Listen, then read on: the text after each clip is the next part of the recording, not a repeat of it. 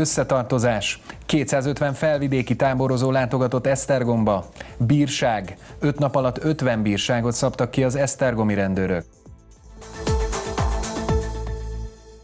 Üdvözlöm Önöket, a Régió Televízió Esztergom hírösszefoglalóját látják.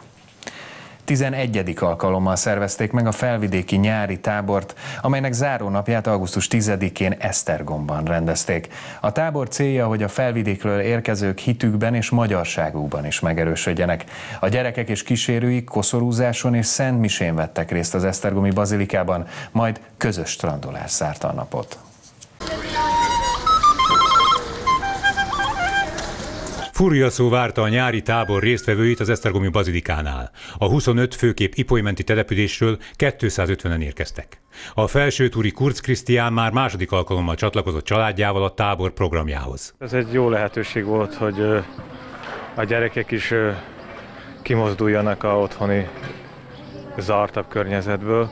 A tábort 11. alkalommal szervezték meg az Ifjúsági Kereszténydemokrata Szövetség közreműködésével hogy az ilyen programokon keresztül, a táborokon keresztül, amelyek mindig nyáron adnak egy olyan lehetőséget, hogy újra találkozhassunk, közösségben lehessünk, azok mindig meg tudnak bennünket erősíteni. Egy tábornak a célja, hogy hitünkben, kereszténységünkben, közösségünkben és magyarságunkban meg tudjunk erősödni. Visszajáró vendégei Esztergomnak a táborlakók. Az előző években a tábor nyitó eseményét rendezték meg itt, idén pedig a zárónapot töltötték az egykori királyvárosban a résztvevők. Az egész város élő történelem.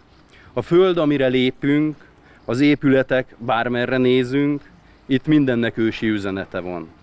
A legfontosabb üzenet viszont most erre a hétre szerintem az lehet a legkifejezőbb, ami a mi hidunkon áll, Szent Kristóf példájára verhidat, ne éket emberek, népek, ég és föld közé. A közös csoportkép elkészülte után a gyerekek és kísérőik megkoszorúzták a bazilika altemplomában Mincenti Bíboros sírját, majd közös szentmisén vettek részt. A legjobban a fürdést várjuk. Nem maradhatott ki a programból a strandolás sem. A felvidékről érkezett gyerekek és kísérőik közös esztergomi fürdőzéssel zárták a programot. 73 évesen elhunyt Györe Lajos vízilabda edző közölte a Magyar Vízilabda Szövetség augusztus 8-án. Györe Lajos játékosként a BVSC, a Postás, a Vörös Meteor, Izzó és az FTC színeiben is szerepelt, utóbbival keg győzelmet is ünnepelhetett. Edzői pályafutását 1978-ban kezdte a Vasas Izzóban, majd a budapesti Spartacus és az OSC férfi csapatánál dolgozott, később 16 évig irányította a BVSC női együttesét, minden évben dobogós helyezést ért el a csapat csapattal négyszer nyert bajnokságot. Az Európa-bajnok női felnőtt válogatott edzőjeként is ismerhettük, illetve utánpótlás szövetségi kapitányként is dolgozott. Szakmai tudásával évekig segítette a Dorogi Új Hullám Sportegyesületet is. Öt nap alatt 50 helyszíni bírságot szabtak ki az esztergomi rendőrök augusztus első hetében. A közlekedés rendészeti ellenőrzésen a rendőrség a közterület felügyelet munkatársaival közösen ellenőrizték a megállási és várakozási tilalmak betartását. Az intézkedések célja felhívni a közlekedők figyelmét a szabályok betartására.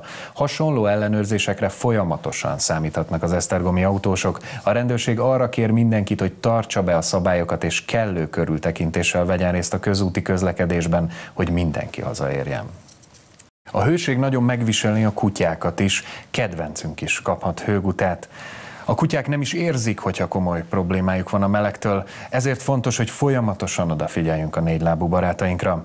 Szakemberek megállapították, hogy nem csak a nagy melegben kaphatnak hőgutát, hanem a stressz, így például egy egyszerű állatorvosi beavatkozás, vagy pedig kutyakozmetikai kezelés is gondot okozhat.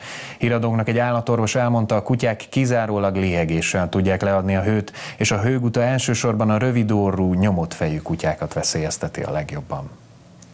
Hogyha észrevesszük a kutyánkon, hogy mondjuk nagyon-nagyon liheg, csak fekszik, nem tud felkelni, idegrendszeri tünetei vannak, tehát kóvályog, neki megy mindennek esetleg, akkor, akkor, és hát hogyha tudunk testhőt mérni, és az mondjuk bőven 41-42 fok fölött van, akkor, akkor azonnal állatorvoshoz kell vinni. A budapesti fesztiválzenekar is csatlakozott az Emmi által elindított térzene koncertsorozathoz. Emiatt érkeztek Esztergomba elsőként augusztus 9-én. Összesen 8 ingyenes koncertet adnak majd a helyi főtéren. A program célja, hogy népszerűsítse a komoly zenét és elérhetővé tegye a klasszikus darabokat a társadalom szélesebb rétegei számára is. Vasárnap délután egy nagyobb zápor megzavarta a koncertet, de végül a fesztiválzenekar klarinét művészei el tudták játszani azokat a Mozart műveket, amikkel a közönségnek készültek.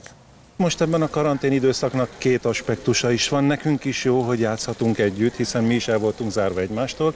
Ugye a zenésznek a legfontosabb, hogy a társaival együtt zenik, uh, muzsikáljon.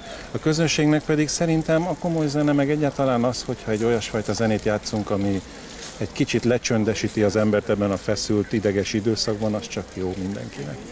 Növényvédelmi munkákba kezd Esztergom közterein a Relabor Kft. tette közzé az esztergom.hu.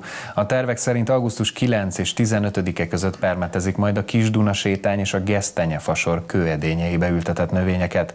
A szakemberek a növényvédelmi munkálatokat védőruházatban végzik este 10 és hajnali 3 óra között. A permetszer eszközökre és melegvérű állatokra nem veszélyes. Legközelebb pénteken 19 órától jelentkezünk friss híreinkkel. Addig is, ha gondolják, látogassák meg a honlapunkat a www.rtve.hu címen, illetve keressenek minket közösségi oldalunkon. További szép napot kívánok Önöknek, vigyázzanak magukra, maradjanak az RTVM műsorán, viszontlátásra!